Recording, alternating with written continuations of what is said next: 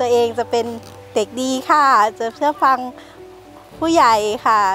ก็เชื่อฟังทุกคนในชุมชนค่ะบรรณาตัวไว้ว่าจะรับใช้